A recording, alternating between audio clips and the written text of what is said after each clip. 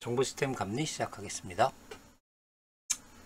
지난 시간에 저희가 그 리눅스 설치를 끝냈습니다. 네, CentOS 7을 어, 이제 VMware 기반으로 하나 이제 설치를 했고요. 음, 오늘은 Hadoop을 설치하기 전에 Hadoop이라는 프로그램은 그 자바로 만들어진 네, 프로그램이기 때문에 자바 언어를 해석할 수 있는 그 JVM을 설치해야죠. 이런 것들 이제 패키지로 키트로 이제 구성된 게 JDK라는 건 여러분 어, 다 아실 거고요. 오늘은 어, 이런 리눅스에 JDK를 설치하는 걸 한번 해보도록 하겠습니다. 음. 우선은 저희가 예, VM웨어 환경으로 이제 설치했기 때문에 구동을 시켜 보겠습니다.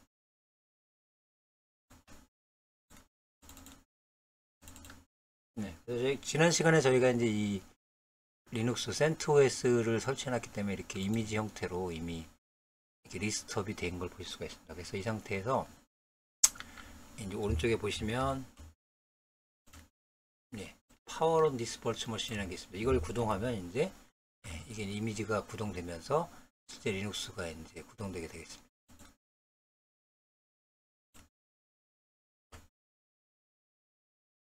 음, 뭔가 좀 볼까요? 뭐 하여튼 뜨니까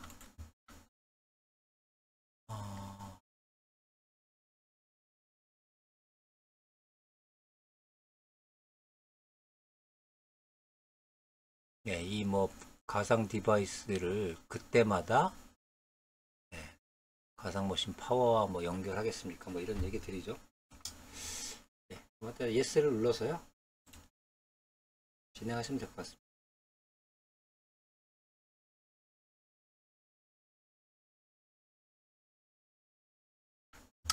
네, 이제 리눅스가 이제 구동이 되면서요. 로그인 화면이 이제 나올 거예요.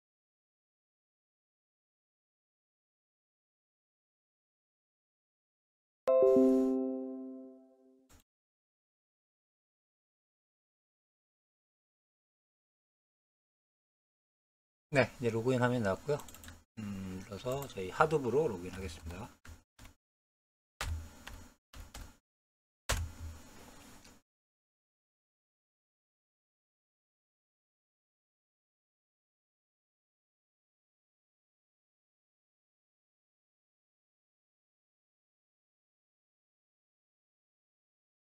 네, 이제 아, 리눅스가 이제 구동이 됐고요. 그럼 이제 콘솔로 한번 들어가 보겠습니다. Applications의 어, System Tools 밑에 터미널 들어가 보도록 하겠습니다. 네, 이제 터미널이 하나 떴고요. 음, 그 저희 이제, 이제 자바 JDK를 설치를 한번 해보도록 하겠습니다. 음, 근데 음, 이 CentOS에는 기본적으로 아마 자바가 설치가 좀 돼 있을 거예요. 그래서 현재 어, 자바가 설치가 되어 있는지 한번 상태를 한번 보도록 하겠습니다. 지금 하드비니까 일단 수 명령을 이용해서 하드 네, 루트 번호로 변경을 했습니다. 네. 여러분 이제 수 명령을 하는 거는 이게 이제 스위치 유저를 의미해요. 그래서 어, 어, 유저를 이제 변경할 때 쓰는 명령어인데 특별한 옵션을 주지 않으면 얘가 루트 네, 유저로 변경을 하게 됩니다. 이제 패스워드는 당연히 이제 하드브로 저희가 지정했으니까 네, 이렇게 변경을 하게 되면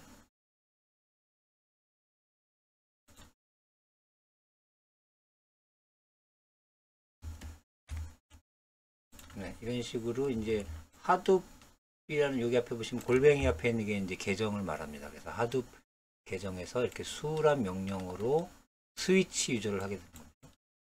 네, 스위치 유저를 하게 되면 어, 이렇게 루트로 변경이 된 걸 볼 수가 있습니다. 네, 이제 변경 상태에서 현재 그 시스템에 설치된 자바가 무엇이 있는지 한번 확인해 보도록 하겠습니다. 네. 그 저희가 이제 패키지 설치가 된 거를 확인할 때는 보통 이제 여러 가지 뭐 방법이 있지만 그 RPM이라는 게 있습니다. 네, 요거 이제 소위 말하는 그 리눅스의 어떤 패키지 설치를 관리하는 매니저라고 보시면 돼요.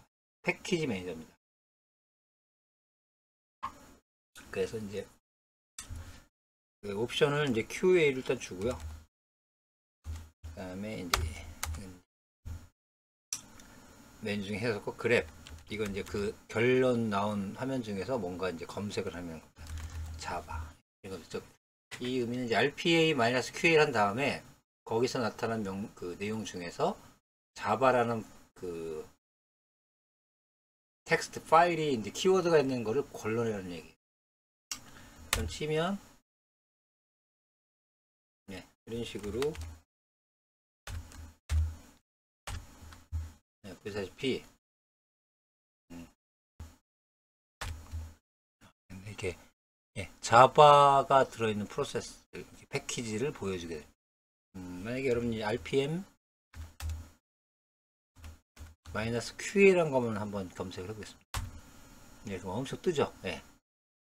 이게 뭐냐면, 이 QA는 이 리눅스에 설치된 어떤 여러 가지 이제 패키지들을 이제 보여주라는 명령어죠. 보여주는 명령인데, 이제 이게 예, 너무 많다 보니까 여기서 이제 이 결과에서 어, 그랩이라고 하면요. 한마디로 서치 이런 거랑 유사하다고 보시면 돼요. 자바. 그러면 저희가 방금 이제 검색한 이 내용 중에서 네, 자바라는 키워드가 있는 것만 보여주죠. 그래서 현재 아, 이렇게 자바와 관련된 뭔가가 패키지들이 이미 설치가 되어 있는 걸 보실 수가 있어요.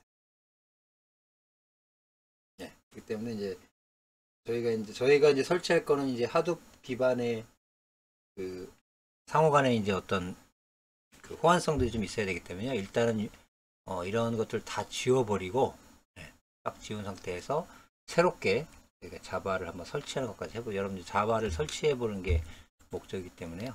일단 이런 것들을 딱 다 지워 보도록 하겠습니다. 음, 이제 지우는 명령어도 여러 가지가 있죠. 음, 그래서 이제 이런 명령으로 한번 지워보세요. 얌 remove 예. 해서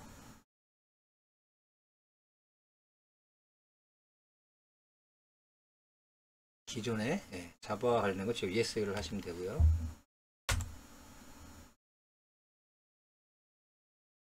네, 뭔가 이제 컴플리트가 되면서 다 지웠습니다. 그 다음에 또 하나 지울 게